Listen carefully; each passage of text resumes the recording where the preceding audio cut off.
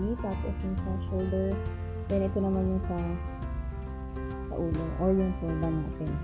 So, after natin makat, i-finish natin lahat ng sides. Okay? Ipapakita natin. Okay lang kahit walang edges.